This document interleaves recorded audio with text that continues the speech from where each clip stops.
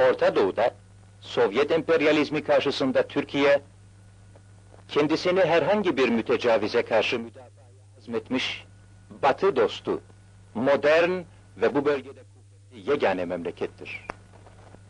Rusya ile Türkiye'yi ayıran ve gece gündüz nöbet tutulan hudut burasıdır.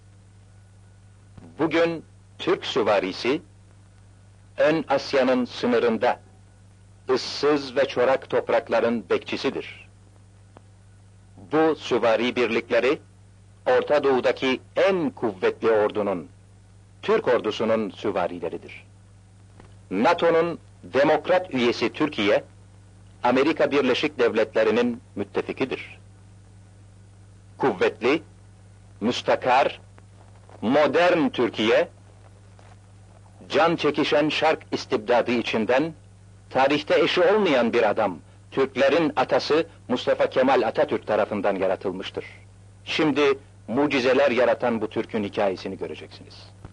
20. asır başlarında birçok duyan Osmanlı İmparatorluğu eski nüfuz ve ihtişamını kaybetmiş ve muazzam bir imparatorluk halinden çökmek üzere olan bir devlet haline gelmişti.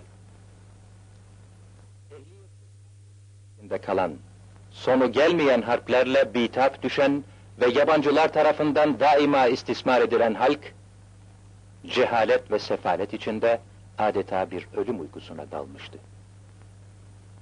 Osmanlı İmparatorluğu, Avrupa memleketleri aslan payının kime düşeceği hususunda anlaşamadıkları için ancak hayatını devam ettirebiliyordu. Birinci Dünya Harbi'nden önce Almanya, Osmanlı İmparatorluğu'na hususi bir alaka gösteriyor ve bu sebeple Alman İmparatoru 2. Kaiser Wilhelm, Avrupa'nın hasta adamı denilen Türkiye'yi ziyarete geliyor. Ve Osmanlı tarihinde görülmemiş bir şekilde karşılanıyor.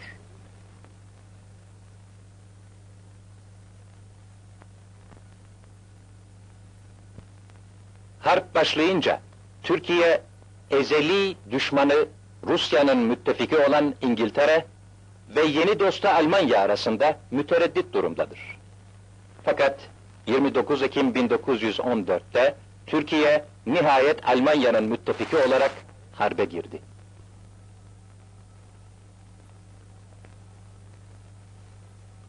...1915 yılı Şubat ayında İngilizler... ...boğazları zorlayıp Gelibolu'ya çıktıktan sonra... ...İstanbul'u alıp Rus gemilerine Akdeniz yolunu açmaya teşebbüs ediyorlar. O tarihte Mustafa Kemal Gelibolu'da bulunmaktadır.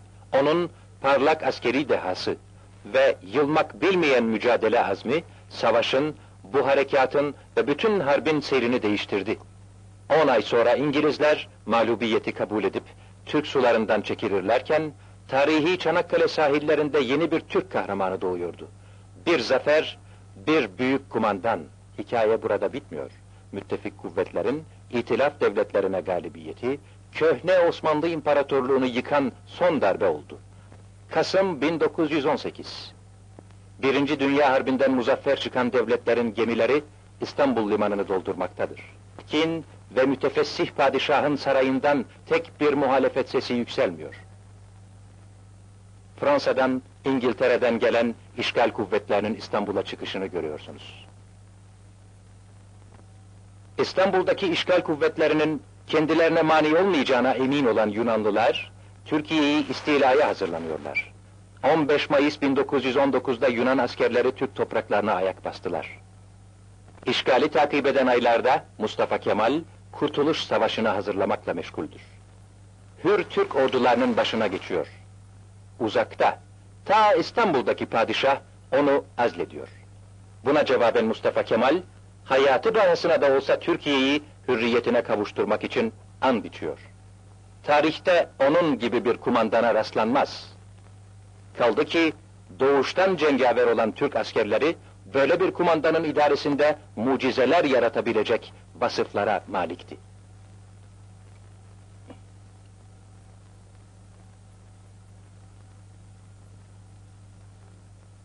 Nitekim Mustafa Kemal en kısa zamanda işgal altındaki Türkiye'de kuvvetlerini toplayıp kumandayı ele alıyor. Etrafında gördüğünüz bu muhafızlar onun uğruna hayatlarını her an feda etmeye hazırdır.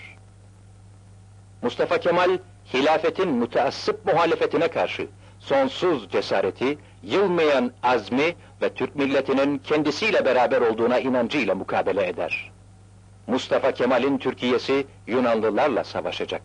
Cephane lazım. Bunu ihtiyarlar, aç işçiler, gençler, çocuklar elleriyle yapacaklardır. Yunanlılarla savaş 1919'dan 1922'ye kadar tam üç yıl sürdü. Türk halkı bunun bir ölüm kalım savaşı olduğunu gayet iyi biliyor. Kahraman önderlerinin arkasında Türk askerleri müstevlilere karşı ilerliyorlar. Türk kadını işgal altındaki evini bırakmış ordusuna sırtında mermi taşıyor.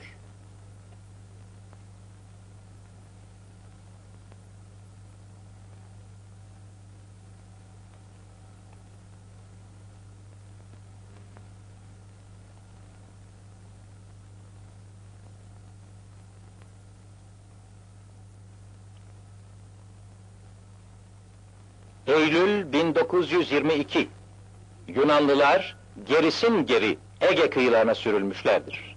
İzmir açıklarında müttefik kuvvetler donanması bekliyor. İzmir limanına binlerce Yunanlı ve taraftarları olan Hristiyan azınlıklar akın akın koşuyorlar. Çünkü İngilizlerin korkunç Türklerin en korkuncu dedikleri adamın ordusundan kaçıyorlar. Gemilerden bu bedbahtlara onları hiç olmasa bir gün daha yaşatacak ekmek gönderiliyor.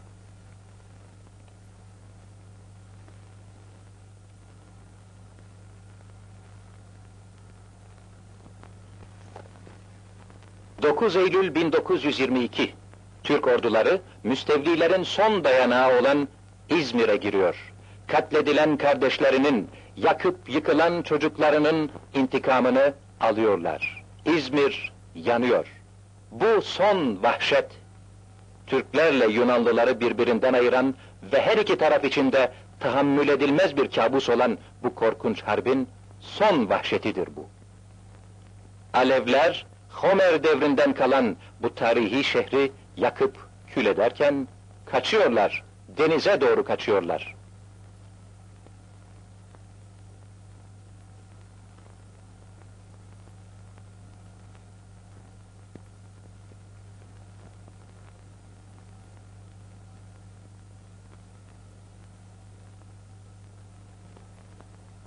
Onlar kaçarken düşman çizmesinden kurtulan Hür Türkiye'nin üzerinde ay yıldızlı bayrak dalgalanıyor.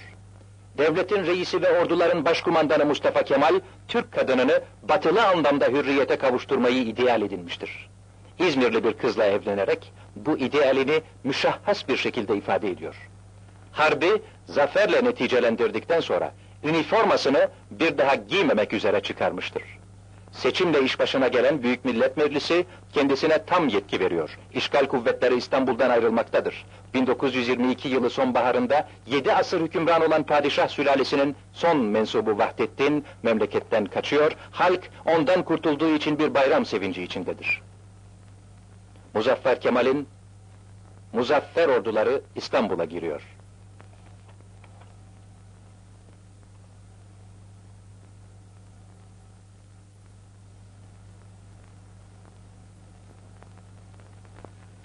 Türkiye'nin ilk reisi cumhuru Mustafa Kemal, harp yıllarındaki hudutsuz selahiyetlerini ve başkumandanlık unvanını muhafaza etmektedir.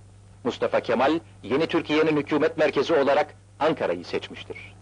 Onun gayesi bundan sonra ne imparatorluk kurmak ne de fethe çıkmaktır. O, demokrat bir Türkiye yaratmak idealinin ve gözünü yummadan yeni bir Türk neslinin yetiştiğini görmek idealinin peşindedir. Aynı zamanda halife unvanını da taşıyan Osmanlı padişahları hem siyasi hem de dini birer liderdiler. Yeni Türk hükümeti dinle devleti birbirinden ayırdı. Müslümanların mübarek gün saydıkları cuma günü yerine batılılar gibi pazar gününü resmi tatil günü olarak kabul etti. Artık içtimai ve kültürel inkılaplara sıra gelmişti. Mustafa Kemal'in nazarında fes ve takke şark taassubunun ve cehaletinin bir sembolüydü. Bunları lab edecektir.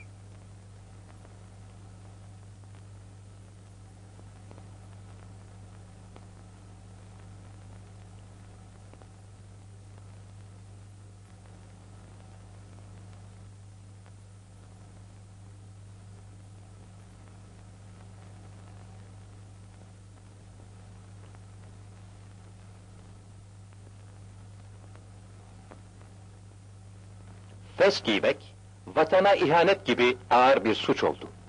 Avrupa firmaları Türkiye'ye yığın yığın şapka göndermeye başladılar.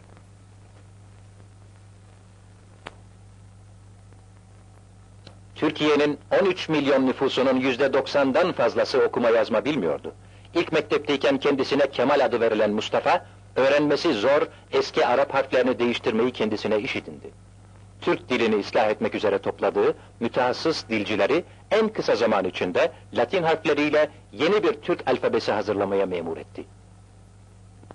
Kendi kendini idare edebilecek bir millet olabilmek için bütün Türklerin okula gitmesi gerekiyordu. Bu gaye ile okuma seferberliği başladı. Batı memleketlerinde olduğu gibi herkesin bir soyadı alması prensibi kabul edildi.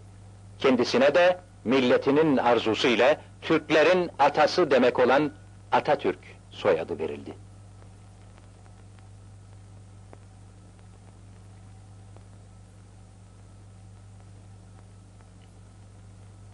Atatürk devrine kadar yüzleri peçe arkasında gizli ve hemen hemen esir durumda olan Türk kadını onun inkılabıyla hürriyetine kavuştu. Türk kadınının Avrupalılar gibi giyinmesinde ısrar ediyor, kendilerine kanun önünde eşit haklar tanıyor ve her mesleğin kapılarını onlara açıyordu.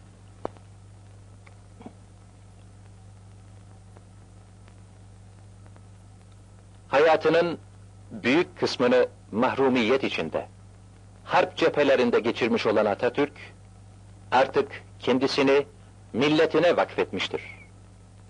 Atatürk'ün vakti çok az, yapacağı işler pek çoktur.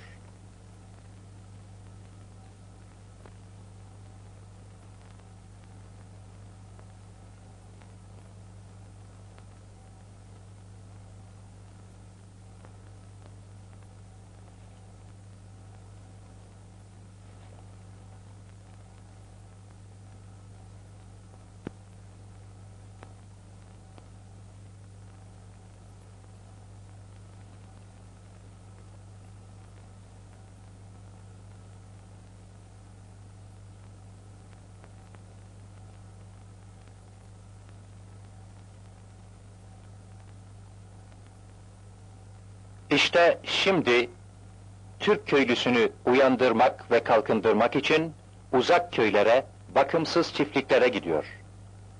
Onun prensibi Türk, öğün, çalış, güvendir.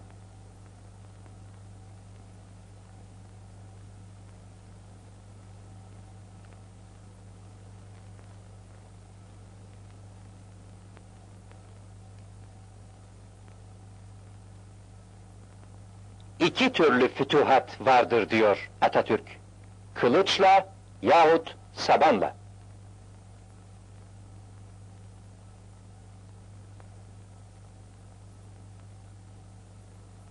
Traktörün üstünlüklerini göstermek için toprak satın almıştır. Bir memur çocuğu, çekirdekten yetişme bir asker, kuvvetli bir adam olan Atatürk, şimdi de örnek bir çiftçidir.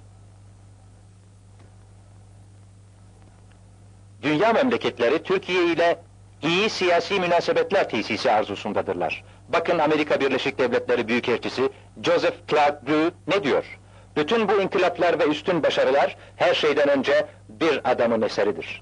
Gazi Mustafa Kemal adı daima modern Türk devletinin kuruluşu ve inkişafı ile birlikte anılacak, tarihe silinmez harflerle geçecektir.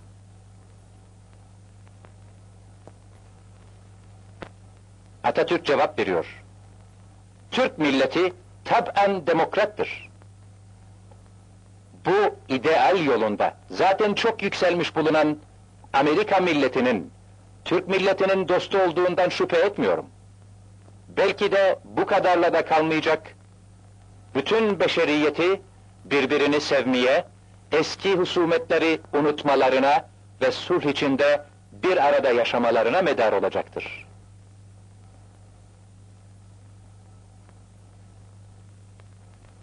1930 yıllarındaki dünya iktisadi buhranı, memleketin ekonomik kalkınmasını yavaşlatmıştır.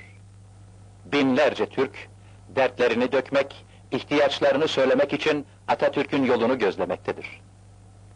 Türk halkına göre Atatürk, onların amiri ve dertlerini dinlemeye ve yardım etmeye hazır şahsi bir dosttur. Atatürk, bütün memleket sathında batılılaşmayı teşvik etmekte ve Türkiye Cumhuriyeti'nin sanayileşmesi için hazırladığı şumullü planın bir an önce tahakkuku için Türk işçilerini teşvik etmektedir. 20. asra ayak uyduran Türkiye, baş döndürücü bir süratle fabrikalar, barajlar inşa etmektedir. Atatürk'ün idaresinde istihsal 10 misli artmıştır.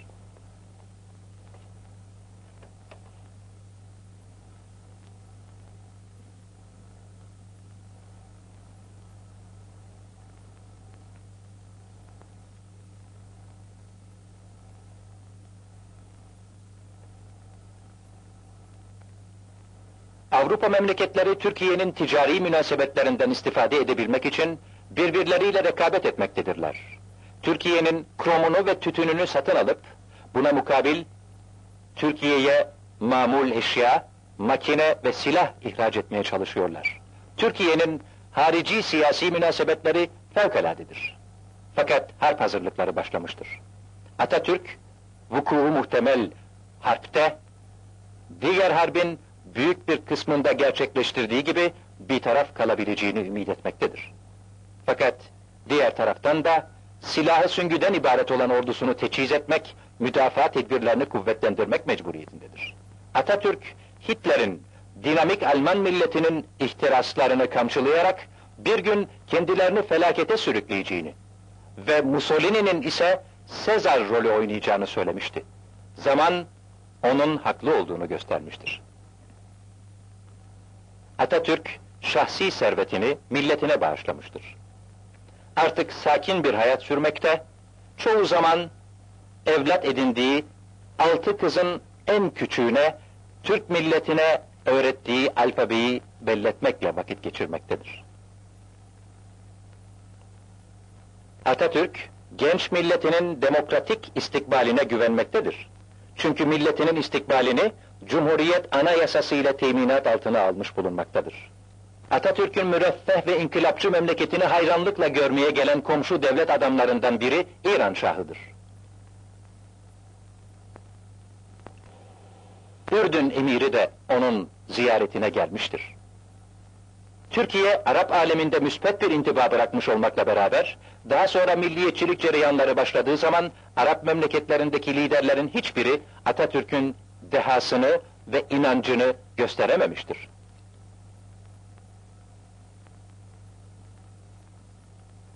Yavaş yavaş çökmekte olan Atatürk, milletinin sıhhatini düşünerek, kendisine hediye ettiği yatta istirahatle vakit geçirmektedir.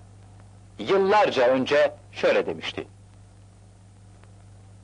Ayakları yürüyecekleri yola alışıp, gidecekleri yöre öğreninceye kadar milletimin elinden tutacağım. Bu gerçekleştiği gün vazifem bitmiş olacak.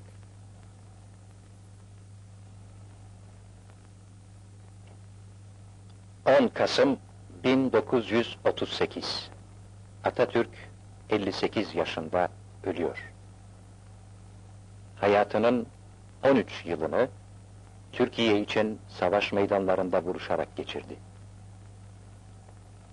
Ölümüne kadar 15 yıl Türkiye'nin ilk reisi cumhuru olarak vazife gören Atatürk şöyle demişti. Benim naçiz vücudum elbet bir gün toprak olacaktır. Fakat Türkiye Cumhuriyeti ilelebet payidar kalacaktır. Bütün Türk milleti aziz atasının arkasından hıçkırıklarla ağlıyor. Bugün Anıtkabir, milletinin Atatürk için ibadet edercesine matem tuttuğu kutsal bir yerdir. Şu geçen Türk askerleri, bundan 40 yıl önce Türk İstiklal Savaşı'nda onun peşinden giden kahramanların çocuklarıdır.